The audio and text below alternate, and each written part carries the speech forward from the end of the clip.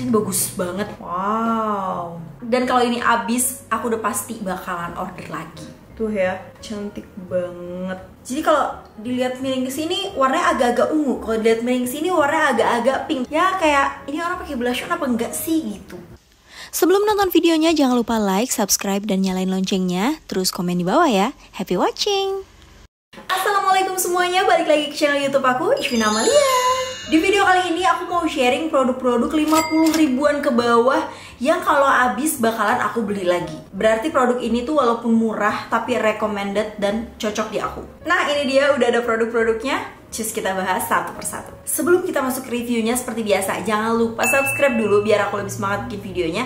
Dan jangan lupa juga follow sosial media aku, Instagram dan TikTok. Di sini aku punya dua foundation harganya murah banget, tapi aku suka dan kayaknya kalau habis aku bakalan beli lagi. Yang pertama ada Wardah Lightning Fresh BB Tint. Aku pakai shade 04 Neutral Beige. Aku udah pernah review ini secara khusus di video yang ini Kalian kalau penasaran sama full shade-nya bisa nonton video yang ini ya. Walaupun ini murce, ini enak banget dipakainya, ringan. Keawetannya juga lumayan ya di muka aku. Aku nggak tahu kalau misalnya di wajah yang berminyak kayak gimana. Cuman di wajah aku yang cenderung kering kombinasi ini oke okay banget. Coverage-nya juga di wajah aku cukup, flawless, minim crack, minim oksidasi. Pokoknya ini 50 ribu tapi oke okay banget. Kayaknya kalau ini habis aku bakalan order lagi. Yang kedua ini Pink Flash. Ini kayaknya aku udah sempet ngabisin satu cup ini. Ini satu cup gini emang kecil ya isinya cuma 20 ml nih Pink Flash Lasting Matte Foundation ini harganya cuma 33.000 aku pakai shade 03 Warm Beige kalau ini walaupun dia murah tapi coveragenya mantul banget. Aku juga udah pernah review ini di video-video aku bahkan udah sering aku pakai tutorial juga. Terus juga dia tahan lama, flawless banget. Cuma minimnya adalah dia tetap terasa kayak agak sedikit berat. Nggak yang berat banget kayak dempul gitu nggak, tapi nggak ringan juga.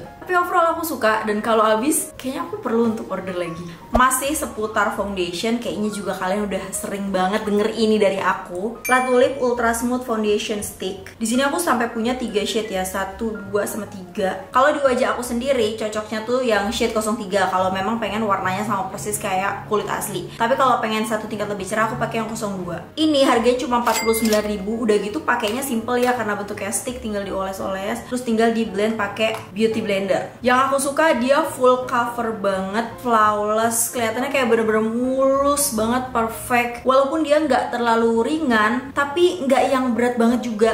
Beberapa kali aku even pakai ini dan overall sampai aku pulang itu masih nempel sempurna. Tahan air tahan keringet tahan badai. Kok ini tuh bagus banget dan aku nggak tahu kenapa harganya itu cuma 49.000 dan kalau ini habis aku udah pasti bakalan order lagi. Sekarang kita masuk ke bedak. Jujur aja kalau bedak yang aku suka banget tuh harganya memang di atas 50 ribu. Tapi aku punya satu bedak yang harganya murah banget sekitar 13 ribuan doang. Tapi ini udah pernah habis dan aku udah beli lagi. Ini dia Viva Compact Powder. Kalian pasti nggak nyangka kalau aku bisa beli lagi produk ini ketika habis Gak tau kenapa kalau aku pakai bedak ini, aku berasa kayak zaman dulu pas aku tinggal sama nenek aku di kampung. Kayak mereka semua pakai bedak ini. Aromanya tuh kayak bener-bener ngingetin ke sana. Dan ini tuh udah kayak comfort powdernya aku. Jadi kondisi kulit aku yang bagaimanapun selalu cocok pakai bedak ini. Aku juga nggak tahu kalian kayak gitu apa enggak. Kalau ada yang kayak gitu juga coba komen di bawah. Bedak ini udah pembelian kedua aku karena emang suka banget. Zaman dulu ya aku masih sering sih bikin tutorial pakai bedak ini. Cuma kalau sekarang-sekarang aku sering pakai daily aja tapi jarang aku masukin ke videoku. Tapi jujur aku suka banget sama bedak ini walaupun murah, gak tau kenapa menurutku bagus. Tapi dia bukan yang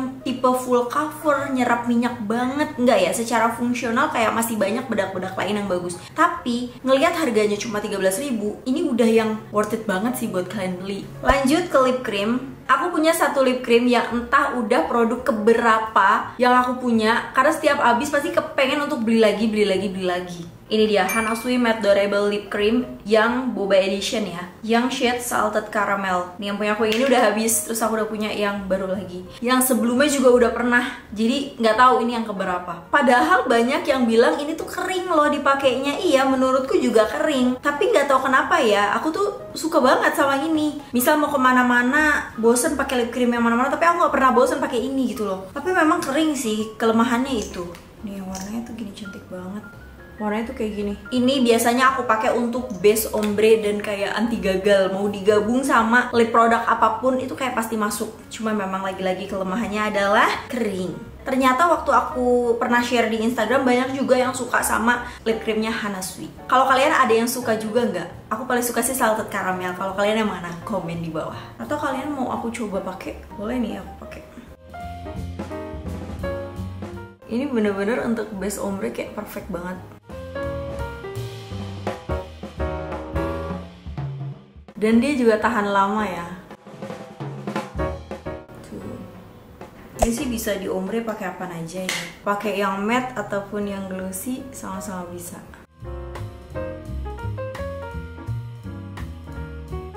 Ini aku coba pakai Bare Bliss. Ini Bare Bliss lip tint yang 04 Cuman aku lebih suka di ombre pakai warna merah Atau aku coba warna merah ya Ini aku ada Well yang Halda Selanjutnya, bibir aku kan gampang banget kering. Udah pasti aku pasti setiap hari pakai lip balm. Sebenarnya banyak lip balm yang aku suka, cuman ada yang paling cocok sama aku tapi harganya di atas 50 ribu. Noera Lip Sleeping Mask. Tapi kan ini nggak masuk di video kali ini ya. Karena dia harganya sekitar 80 atau 70 sekian gitu. Tapi aku menemukan nih lip balm yang harganya itu cuman 20 sekian ribu. Tapi ini enak. Ini dia dari Dazzle Me. Ya paling aku suka shade terbarunya yang 05 Black Honey ini dia tuh dia lama-lama tuh kayak bakal ngeluarin warna kalau dipakai di bibir bakal warna yang pink dan dia bakal ngestain jarang-jarang ya ada lip balm yang warnanya itu kalau dihapus tetap ngestain jadi kalau misalnya ini habis kayaknya aku perlu lagi deh Selanjutnya ini ada uh, brow pomade yang aku sebenarnya belinya iseng, tapi ternyata pas aku beli ini kepake banget ternyata. Yang pertama, jarang-jarang ada brow pomade atau eyebrow cream yang warnanya tuh ada dua. Tuh. Jadi kalian bisa pilih mau warna yang lebih tua atau lebih muda. Karena memang kita kalau pergi-pergi tuh suka nyesuaiin ya. Misal kita perginya tuh mau kondangan, oh kita pakai yang agak bold. Tapi misal perginya tuh kayak cuma untuk makan di luar sama keluarga, oh kita pakainya rada-rada soft. Nah, dia udah ada nih dua-duanya. Catat ya, ini dari Sunny Ini aku pakai shade 02 nih warnanya kayak gini tuh. Ada yang tua ada yang muda. Terus jarang-jarang juga ada brow pomade yang ada aplikatornya nih tuh. Jadi udah ada kuasnya gengs kalian nggak perlu ribet-ribet bawa kuas lagi ya kan tuh. Jadi ini kepake banget sih. Harganya berapa ya? Kayak cuman 20 sekian gitu kalau nggak salah. Murah banget. Nanti semua produk yang aku bahas aku akan taruh linknya di description box. Jadi kalian gak usah sibuk nyari-nyari. Langsung aja meluncur ke description box aku. Nanti tinggal diklik aja linknya. Selanjutnya, ini ada highlighter dari Hojo. Harganya itu cuma 30 ribuan, tapi aku suka banget kalau pakai ini kayak berasa pakai produk high end dan banyak banget MUA MUA yang pakai ini juga dan mereka juga bilang ini kayak produk high end padahal cuma 30 ribuan. Udah packagingnya cantik, dalamnya tuh mewah dan dia warnanya tuh bener-bener yang gonjreng sebagai highlighter kayaknya dia udah berada di tingkat kegonjrengan yang paling tinggi. Nih ya, aku coba usap-usap. Nih ya, kita coba. Kalian lihat tuh. Uh, aduh, lihat Kira-kira ada nggak highlighter yang bisa mengalahkan dia? Padahal harganya cuma 30 ribu. Dan ini multifungsi, bukan cuma jadi highlighter juga. Aku sering pakai ini untuk eyeshadow Atau untuk di inner corner. Paling sering sih di inner corner. Ini udah cantik banget. Kalau pengen bikin riasan yang cus, gonjreng, menyilaukan mata netizen Ini bisa diandalkan bunda Serius ini cakep banget. Kalau misalnya ini sampai habis aku udah pasti beli lagi. Cuma kalau dipikir-pikir ya, ini tuh isinya banyak. Sedangkan highlighter kayak butuhnya secocol dua cocol doang. Jadi ini pasti awet banget. Selanjutnya ini ada eyeshadow kecil mungil, glitter-glitter juga yang aku pakai banget banget banget terus-terusan. Nih ya, dia warnanya putih kayak gini Oh iya, ini dari Vocalur. Aku nggak tahu ini masih ada yang jual atau enggak ya. Ini udah lama. Bahkan kayaknya mah ini udah expired kali ya. Cuman kepake banget sama aku. Nih lihat warnanya. Jadi kalau misalnya aku mau pergi-pergi nih, kayak eyeshadownya kayak eh kurang gimana gitu. Aku suka tambahin ini kayak di tengah-tengahnya. Lihat ya, warnanya putih kayak gini. Tapi kalau di swatch, dia warnanya kayak ada hologram ungu, pink gitu ya. Tuh. Ini cantik banget kalau dipakai. Kelihatannya tuh enggak kayak ada glitternya. Kayak kulit kelopaknya glowing terus kayak ada hologramnya cantik banget. Nih. Tuh. Wuh kayak warnanya berhologram. Jadi kalau dilihat miring sini warnanya agak-agak ungu. Kalau dilihat miring sini warnanya agak-agak pink. Nih ya catat ini Vocalur namanya kalau nggak salah Vocalur single eyeshadow. Nanti kalau aku nemu di Shopee linknya aku taruh di description box. Karena ini aku beli udah lama banget Tuh ya, cantik banget. Selanjutnya kita masuk ke blush on. Di sini ada dua produk yang aku suka banget. Pertama ada Wadah Color Fit Cream Blush yang nomor 01 Sand Coral. Warnanya tuh soft banget. Lihat deh kalau dari jauh malah kayak warna nude kecoklatan ya. Aku suka banget ini untuk daily, untuk kayak cuman pergi main ke rumah teman gitu ya biar ala-ala merona manja gitu. Ini sumpah warnanya cakep banget tau dan jarang ada di cream blush lain. Warnanya soft banget nih ya. Tuh. Warnanya tuh kayak antara ada dan tiada. Bener-bener kayak cantik banget kalau dipakai nih. Aku sekalian aja cobain deh ya. Aku sengaja belum pakai makeup biar aku bisa nyobain. Warna-warna yang kayak aman banget kita pakai walaupun kita nggak pakai base foundation gitu ya. Warna-warna cantik banget mau di bare face juga. Kayak agak-agak merona gitu, beda kan? Tapi tetap natural. Ya kayak ini orang pakai blush on apa enggak sih gitu. Kalau misalnya kalian ngerasa, ih sama aja nggak pakai blush on, tipis banget, kalian bisa layering lagi. Dia kalau dipakainya agak banyak, tetap kelihatan ngeping sih. Ini karena aku contohin pas aku pakai daily aja. Biasa aku pakai sampai kayak dong-dong gini. Buat kalian kayak rada malu-malu untuk bermakeup, kayak bakalan cocok. Pokoknya paling enggak kalau kalian nyari blush on yang warna natural, cus cobain ini. Nah yang kedua, Dazzle Me 2 in 1 Love Jam Lip Clay. Ini aku pakai shade 06 Cup of Coffee yang warnanya itu kayak merah kecoklatan. Aku suka dia karena dia tuh multifungsi. Jadi kalau aku mau makeup yang sat-set, dia bisa dijadiin cream blush dan langsung untuk bibir. Bibirnya juga kayak rasanya tuh matte yang ringan banget. Kalau ini kayak buat makeup sat-set tuh kepake banget ya. Cuman ini warnanya emang rada gonjreng sih tuh. Cuma kalau misalnya udah dipakai dan di blend karena dia gampang di blend, hasilnya tetap bisa kita adjust. Mau tipis mau tebel bisa. Ini aku udah hapus bibirnya, aku mau contohin kalau dipakai di bibir kayak gimana. Bagus, apalagi kalau kalian kayak mau sehari-hari aja Bibir kalian warna gelap atau kayak pucat Terus pengen sehari-hari tuh bibirnya merona merah Tapi nggak pengen kelihatan kayak pakai lip cream. Hmm, pakai ini aja. Kayak dikit-dikit aja, kayak diusap-usap doang jadi aku pakai dikit banget hasilnya kayak gini. Jadi kayak memang bibir kita tuh yang berwarna, nggak ada tekstur yang gimana-gimana, nggak lengket, ringan banget. Eh emang kayak nggak pakai apa-apa. Tapi kalau misalnya kalian mau lebih merah lagi, tinggal tambahin lagi. Tuh, lihat deh dia smooth banget di bibir, garis-garis bibir kayak agak-agak samar. Hasilnya tuh lebih kayak matte velvet, kayak gini.